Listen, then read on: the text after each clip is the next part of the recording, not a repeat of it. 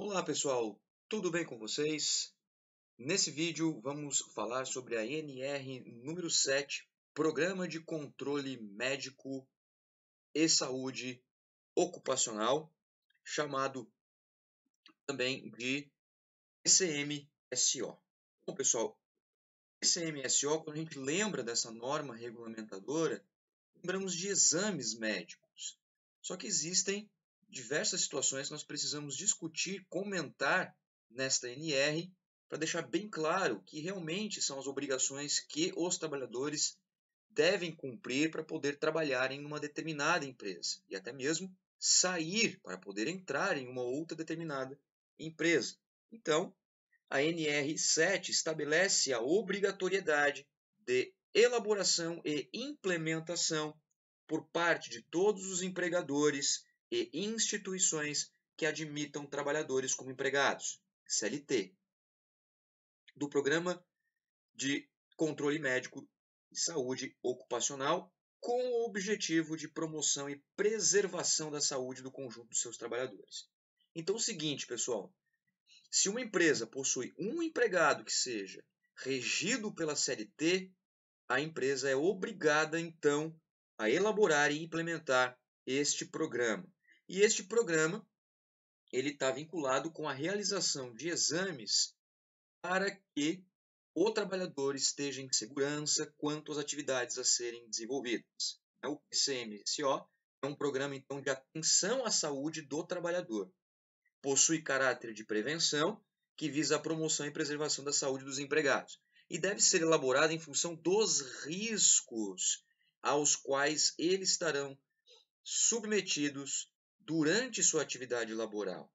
Então vocês podem estar me perguntando o seguinte agora, nesse momento, que riscos que são estes que os empregados estão submetidos ou estarão submetidos? Bom, antes da gente discutir esses riscos, é importante falar que este programa ele é de prevenção. Lembra que nós discutimos nos vídeos anteriores, né, principalmente naquele da história, da saúde e segurança no trabalho, que muitas coisas no trabalho era de fins corretivos e não de prevenção? Pois bem, a NR7 vem também com esse caráter de prevenção, ok? E também, pessoal, é muito importante falar que a NR número 4, né, que fala do SESMIT, obviamente que se a empresa tiver esse serviço especializado, o médico coordenador, pois vai ter um médico, né, caso tenha esse médico, ele é o responsável por esse programa de controle médico saúde ocupacional e deve existir independentemente da quantidade de trabalhadores e do grau de risco da empresa. E o responsável é o médico do trabalho. Os riscos, então, são os riscos né, e seus agentes: risco físico, risco químico, risco biológico, risco ergonômico e risco mecânico, ou chamado também de risco de acidentes. Faz parte também das questões de biossegurança, certo?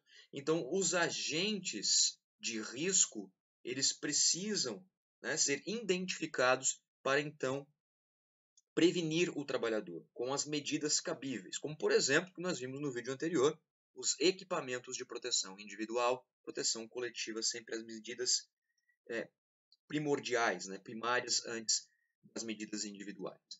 Bom, então, o seguinte, pessoal, quais são os tipos de exames que existem? Provavelmente, se você já trabalhou com carteira assinada né, pela CLT, se você foi trabalhador regido pela CLT, você já passou provavelmente por um exame admissional.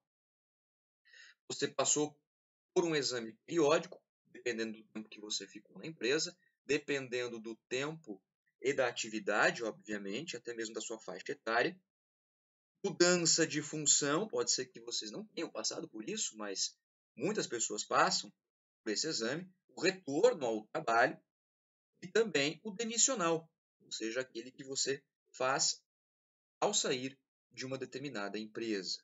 Pois bem, esses são os cinco exames que estão contidos na NR7. Portanto, para fins de legislação, estes exames são os considerados oficiais. Ok? Ainda, depois eu vou passar um quadrinho para vocês no próximo slide, sobre os exames complementares, que estes exames estão vinculados com a proteção do trabalhador numa situação complementar. Então, olha só que importante essa informação.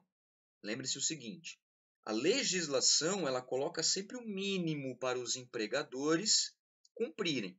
Mas, caso a empresa quiser fazer mais do que o mínimo previsto em lei, obviamente que ela pode fazer isso. É interessante, claro, com certeza, tem muitas empresas que conseguem fazer isso, outras não conseguem, mas, de qualquer maneira, é, a legislação tem o seu mínimo a ser cumprido.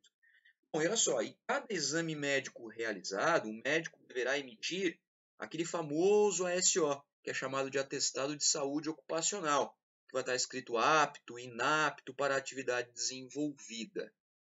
Portanto, esse atestado é como se fosse a comprovação da sua saúde, pelo menos naquele momento, naquele exame em que você está sendo submetido.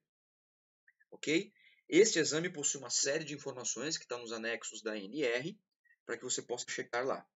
E a empresa, pessoal, o empregador, no caso, né, quem está contratando você, deve custear todos os processos de exames, todos os procedimentos. Lembra lá nos vídeos anteriores que nós falamos sobre a, questão de que até mesmo o deslocamento do profissional, no caso do, do futuro empregado ou do empregado já da empresa, para é, o local do exame, para a clínica, para o hospital, enfim. Então, todos os custos devem ser de responsabilidades do empregador. Tá? Isso está na lei. Então, jamais o empregador deve fazer com que você tenha gastos adicionais para isso, tá, pessoal? Então, isso é lei, você faz esses exames sem custos. Então, Caso caia numa prova, num concurso que você vai prestar, e está escrito que a empresa ela pode cobrar parte desse valor, desconto no salário no fim do mês, não, isso é falso. Jamais isso pode acontecer. Ok? Vamos esse quadro aqui da NR7, olha só. Nós temos né, a, a, os exames, o que, que significa cada exame, nós temos aqui prazo de realização. Pois bem, Olha só, acompanhe comigo. O admissional, o que, que significa admissão? Significa antes que o trabalhador assuma suas atividades. Isso era admissional, todos sem exceção. O que, que significa isso? Para você entrar numa empresa, você precisa fazer um exame admissional. Sem exame admissional não entra. É necessário fazer o exame.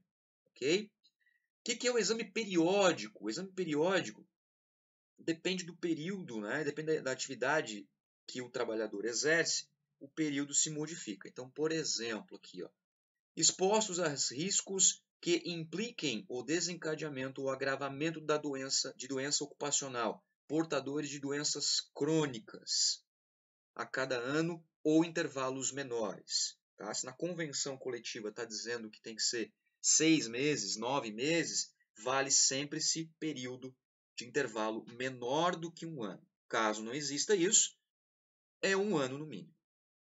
Expostos às condições hiperbáricas de pressão, né?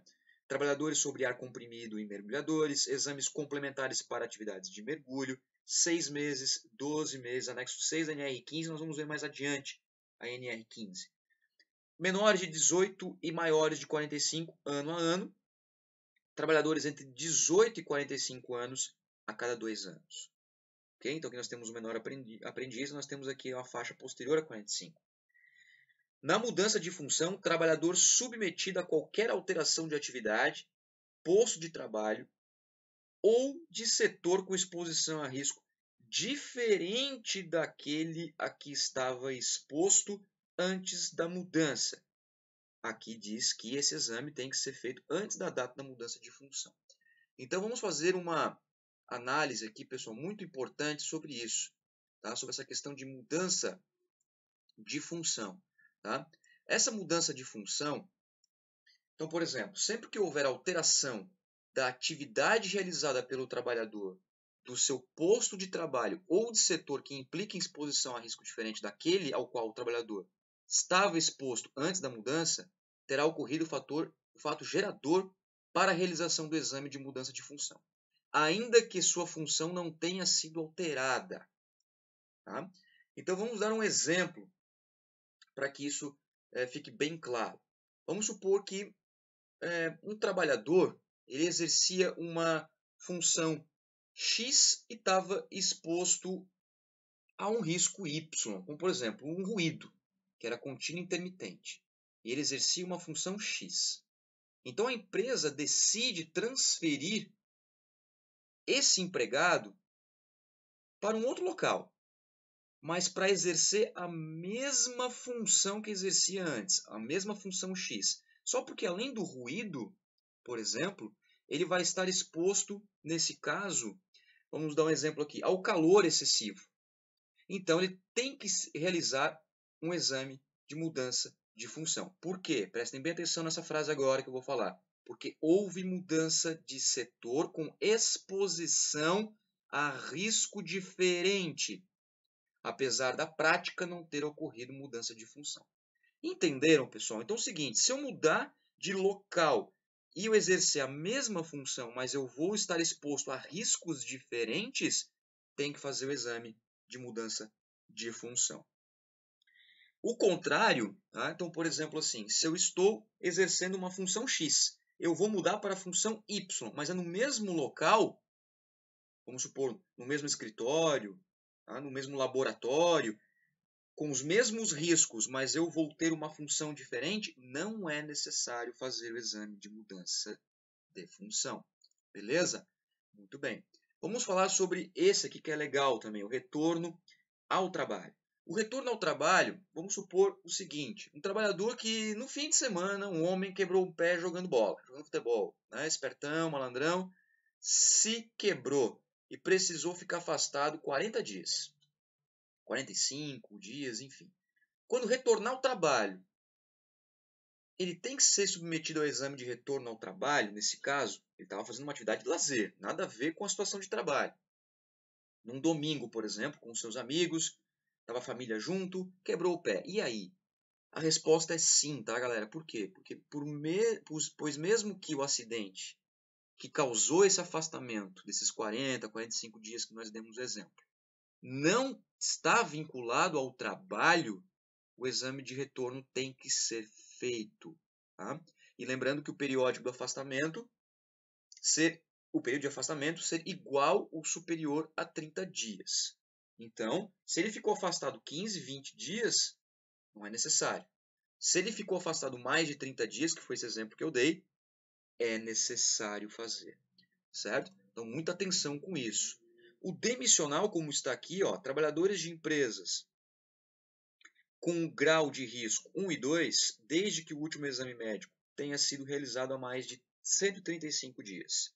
Trabalhadores de empresas com grau de risco 3 e 4, desde que o último exame tenha sido realizado há mais de 90 dias. Então, dependendo do risco que o trabalhador estava exercendo, muda-se os prazos, muda-se a contagem de dias. E é claro que tem que ser feito até a data da homologação da sua demissão. Ok, pessoal? Essas são as principais informações dos exames admissional, periódico, mudança, retorno e demissional. Ok? Mais um quadrinho para a gente fechar a aula. Esse esse quadro mostra o seguinte, olha só, exames complementares. Então vamos supor né, que um indivíduo está submetido a o agente ambiental, um agente de risco físico, ruído. Ele precisa fazer um exame médico complementar à audiometria na admissão, seis meses após a admissão e a partir de então, ano a ano. Tá vendo agora? Por causa do ruído, ele tem que fazer o exame audiometria, né, para ver a questão do ruído, se ele está tendo que a gente chama de PAIR posteriormente, né, a perda de audição induzida por ruído. Outro risco físico, radiações ionizantes, fazer o hemograma completo e contagem de plaquetas admissional em seis meses em seis meses. Então, aqui o hemograma, né, para ver a contagem de células vermelhas, brancas e as plaquetas para ver a defesa do corpo em virtude da radiação. E ainda nós temos outros exemplos que nas NR setoriais, nós vamos ver quais são os exames específicos, como, por exemplo, os profissionais de saúde, que são submetidos a diversas vacinas e assim por diante. Beleza, pessoal? Qualquer dúvida que vocês tiverem, apontamentos, questionamentos, deixe aqui nos comentários que eu vou responder o mais rápido possível para vocês. Muito obrigado pela atenção, um abraço e até o próximo vídeo.